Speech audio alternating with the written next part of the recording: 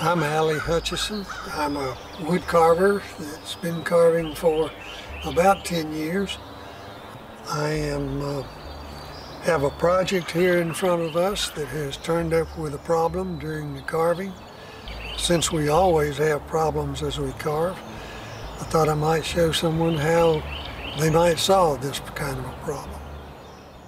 As you can see, one front foot has broken off and the other front foot has been broken in two places already. And if you try to place him on the stump, he won't go over here right because his back feet won't fit. The only place that it will fit is right here to look natural. And if you put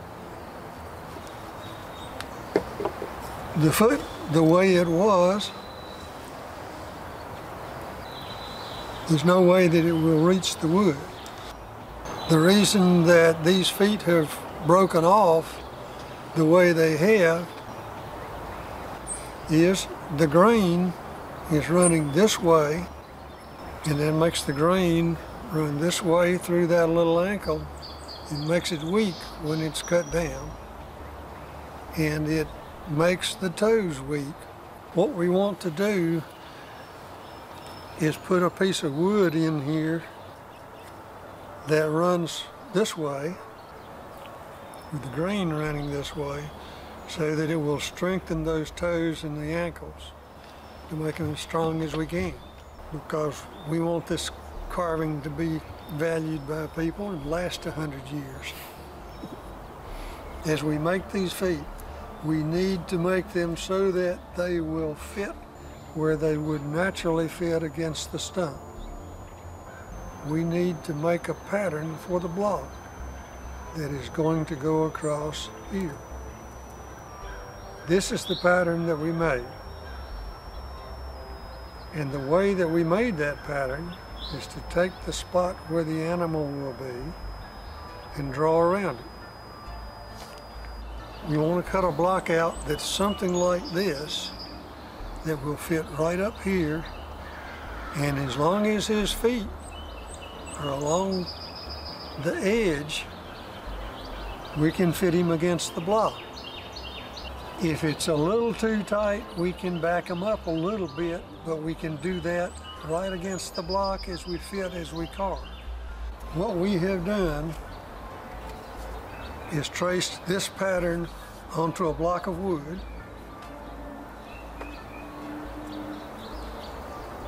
Right here. And we have sorted out here to fit against the stump. This is the way the grain runs on the block. That way it will strengthen the feet that'll be sticking out more or less in the, those directions. That's a lot better than the way the grain is running. If the grain was running this way, those little feet would be a lot more prone to break off. So we are putting in, the chipmunk will fit in here like this, and it has to fit in tight because we want the glue joint to be as small as it can be. There will be a little line of glue that will show after it's carved. But we're fortunate because this chipmunk is going to be painted like this and the paint will cover up the glue line. We want it to fit tight so the glue line will be small and we want to be able to have to carve these shoulders in so you won't see them. We've got it so that it fits in there.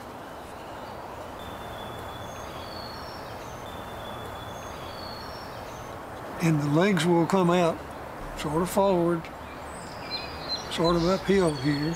So you can see that now the legs can stick out forward.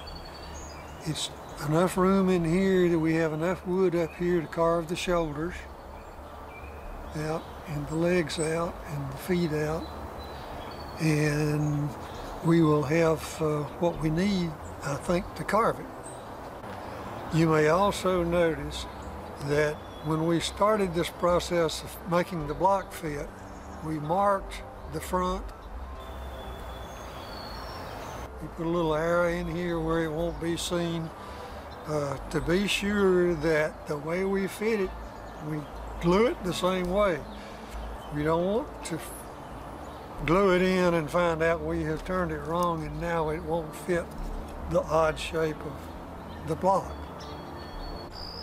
Now I'm going to get the glue and we're going to glue this in here.